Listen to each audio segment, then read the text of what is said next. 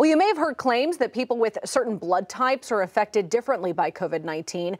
Jason Puckett with our Verify team breaks down the claims. Back in March, researchers in China released evidence that severe COVID cases might be linked to your blood type. Now, this study mentioned that type A blood seemed to be more susceptible to death and infection, and that type O was less susceptible. That study led to multiple others, which is why we're talking about this now. More articles and claims are popping up after new research was published. So let's break down what we know as facts. First, have more studies shown a link between COVID severity and blood types?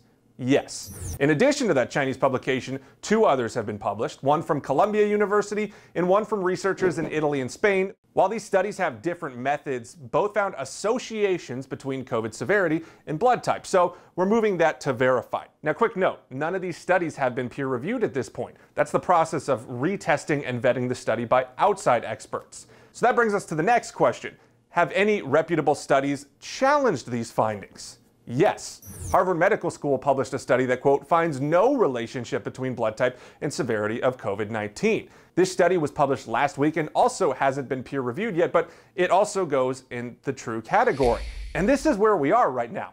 Some studies say there is a link, other studies say there isn't. That is confusing, but it's actually how scientific research works.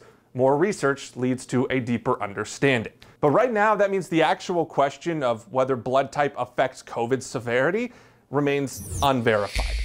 With your Verify, I'm Jason Puckett. Our Verify team has been reporting on viral claims circulating since the pandemic began. You can view more of their coverage by downloading our free 5 News app.